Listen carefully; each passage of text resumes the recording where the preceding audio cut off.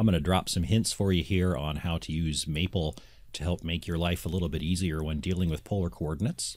We will be doing double integrals in polar coordinates, and so you need to know what polar curves look like, and sometimes they can be a little tricky, so Maple can help you out. This is the front screen of Maple. I'm guessing most of you have used Maple before. I think you told me you have. But anyway, when you fire up Maple from any campus computer, this is the first screen you generally come to, and you just select New Document and let it rip. Uh, I'm going to get rid of this quick help screen because it's in the way. And here we go. So here is how you can get polar curves plotted. The first thing you have to do is tell Maple, hey Maple, I want to plot polar curves. The libraries for plotting fancy things are not automatically loaded. Easy plotting routines are loaded already, but fancier ones are not. So what we have to do is call it in. So we have to say with, which is telling Maple, hey, you're about to load an extra package, and that package is called plots. So with plots is what you type in and then hit return.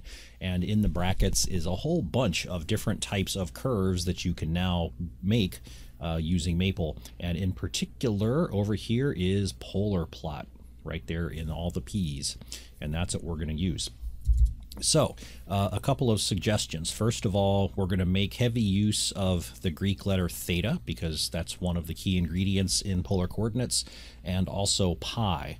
So, what I'm going to do is in this left hand side with all the templates, I've opened up the Greek letter template, and I'm going to take theta, right click on it, and tell it to add it to my favorites palette. And I'm going to take pi, and these are the lowercase versions, right click on it add it to my favorites palette. The favorites palette is up there on top, and now I have quick access to theta and pi, and I don't have to always scroll down and open up the Greek tablet. Unfortunately, if you're using Maple on a networked machine, the favorites bar will clear out uh, every time you start it up fresh. So you'll have to do this every time if you want them accessible. If you have your own version, then once you set your favorites, they are there for good. So uh, the command to make a polar plot in Maple is polar plot. Here's how it works. Polar plot. There you go. Then you have to tell Maple what you're about to plot. The first expression you put in is the function that you would like to plot. So I'm just going to make one up here. Let's say we want to plot 2 times sine of theta. Now I've got to go grab theta from my favorites palette and click on it. There it is. Type it in. And how about plus cosine of theta so that's the curve I want to plot. Now I have to tell it how much of the curve to plot. So I'm going to put a comma in there, and I'm going to tell it that theta needs to run from 0 to 2 pi.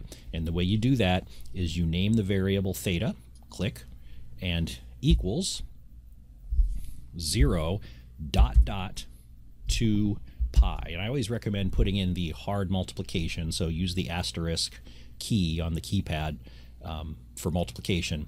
So this is telling us that we're going to plot 2 sine theta plus cosine theta for a range of theta values from 0 to 2 pi. Close the parentheses and hit enter. Uh, if you it's this is optional, but if you put a semicolon at the end of a command, it will reduce any clutter that it wants to echo back to the screen. Uh, so there we go. There is 2 sine theta plus cosine theta plotted uh, with a nice little polar grid in the background. And then from here, you can add more plots down farther on the screen, um, or you can just come back up here and modify it. Let's say, whoops, I wanted that to be 2 sine theta times cosine theta. Edit it, hit enter. There's the new version of that curve. Um, 2 sine theta times cosine of 4 theta. There's that curve. So you can make pretty quick adjustments and start getting a good sense of what these curves look like. Uh, if we want to plot r equals theta alone, just because I like this curve, it's nifty, it's pretty easy. Here's r equals theta. This turns out to be a spiral, so let's take it out to uh, 6 pi, just so we see more of it. There we go. There's the red curve, and that's the spiral. That's the curve r equals theta in polar coordinates. So with this uh, roping in of plotting commands with the, the with plots command and also the use of polar plot, you can generate quick polar coordinate graphs pretty easily. So if you need them to generate bounds for a double integral, you know what you're looking at.